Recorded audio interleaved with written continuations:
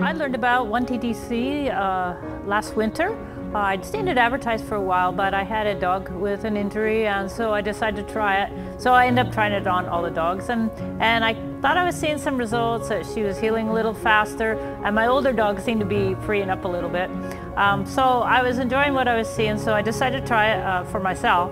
And for me, that was got to be the clincher that I really knew this was a product that worked. Um, I'd had a pretty severe Achilles attachment injury last summer in England and was not able to finish the agility runs there and didn't run again until uh, late November. And so I started using the product, it seemed to be helping. Um, and then applying the product directly is what was kind of a, a turning point for me, where it went from getting along to really feeling like I could run again. And uh, so I really felt great about winning nationals with uh, Sketcher here. He was feeling good, and I think it uh, was helping him with an injury he had uh, to his shoulder, uh, hitting an A-frame a couple years back. And then for me, it really meant that I could run well enough to support him and was able to win the national uh, championships.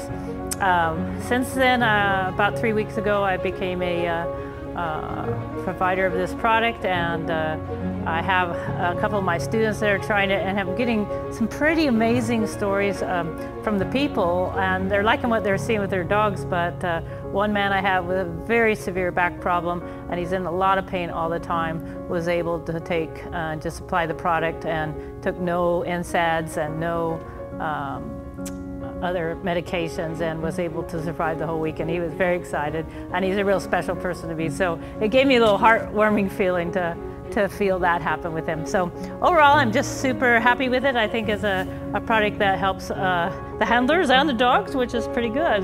So that's my story. Well the thing I've found uh, that's pretty exciting about the product is is that it does help with inflammation and in a healthy way um, in that it doesn't inhibit uh, healing and so most of the folks that I have decided to try it, they try it when their dogs get hurt.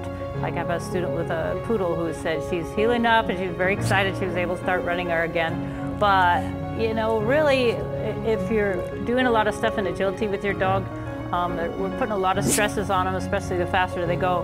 And uh, so I think using the product as a preventative is, is where I am at. So what I'm seeing is working for me, so that's the number one thing. But also there's enough people now that are top people in agility also starting to use the product as well. So there's some reason for that. So that's why I would say give it a whirl.